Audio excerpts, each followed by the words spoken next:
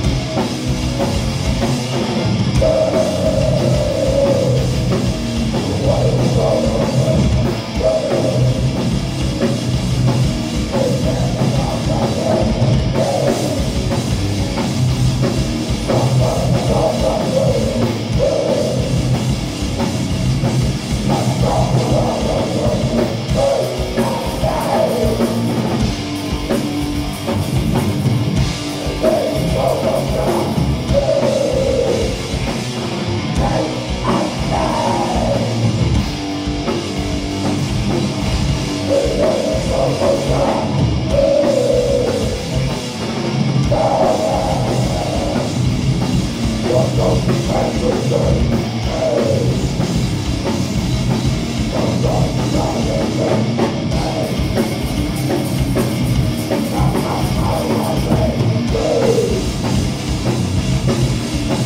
Shut up,